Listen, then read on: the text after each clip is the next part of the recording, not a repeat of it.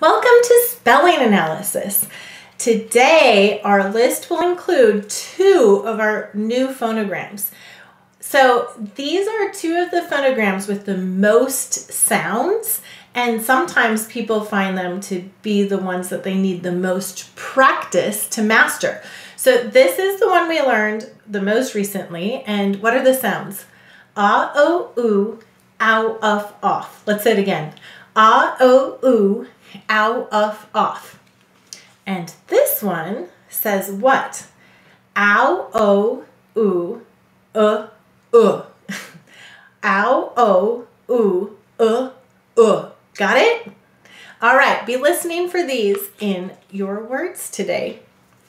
The first word that we will be spelling is the word I. I like to go skiing. I. Go ahead and say I. I. Let's sound it out. I. This is an I, I, E, Y. Now, there's something very special about this word I. Before you write it, you need to know that every time we write it, whether it's at the beginning of the sentence or in the middle of the sentence or all by itself, we write it with an uppercase letter or a capital letter. So let's say the word again. I, use it, I, e, I, I, E, Y, and write it with an uppercase letter. Go ahead and write it. Now help me write it. I. Well, there you go. It's not a very long word.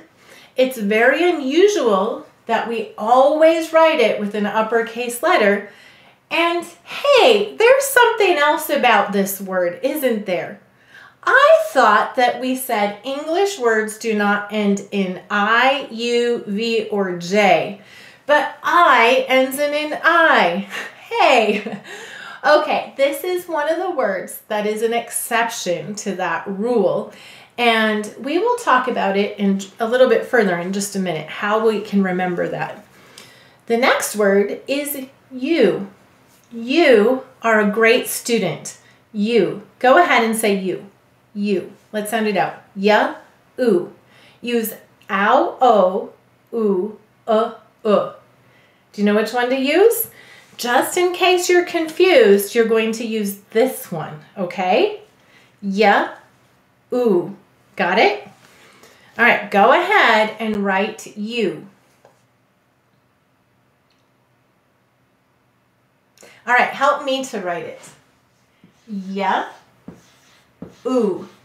How will we mark this? Well, underline the ooh.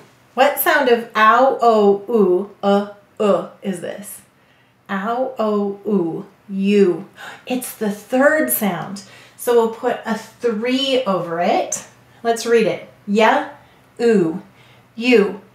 Okay, wait a minute. Word is not following the rule either. English words do not end in I, U, V, or J. These two words, I and you, are very old words. And so they've changed over time. I used to have some more letters after it. You did too.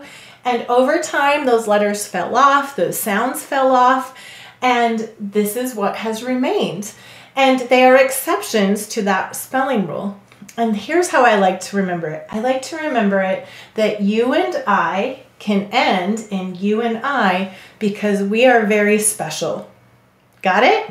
You and I can end in you and I because we are very special. the next word is your. Your house is next door to mine. Your. Go ahead and spell or say your. Your. Let's sound it out. Ya, o, using ow, o, uh, uh, er. Let's sound it again. Yeah, Y, o, this one, er.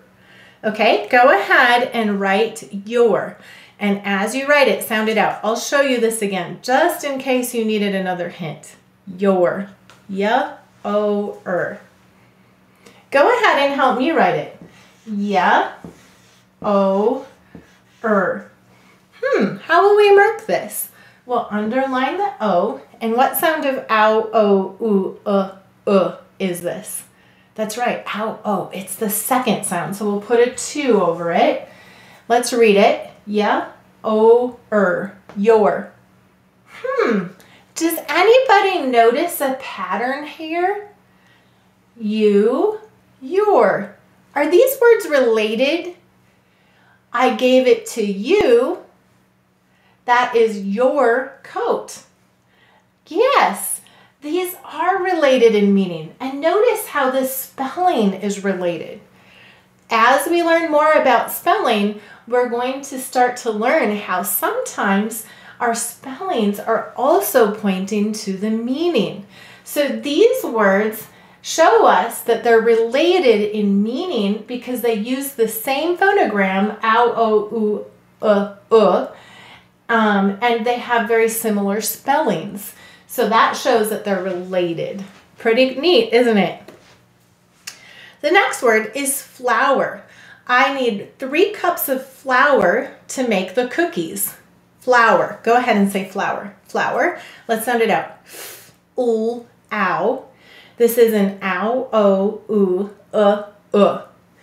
Once again, it's this one, er. Let's do it again. Flour. Ooh, ow, er. Got it? Go ahead and write flour.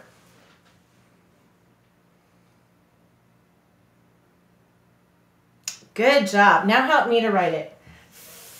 Ooh, ow, er. And how will we mark it? Very good. We'll underline the ow. And what sound of ow, o, oo, uh, uh is this? It's the first one. Ow. Flour. Let's sound it out. Ooh, er. Flour. The last word is dough.